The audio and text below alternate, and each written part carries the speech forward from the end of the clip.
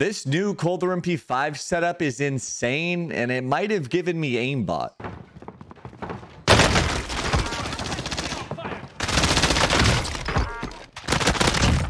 Enemy down.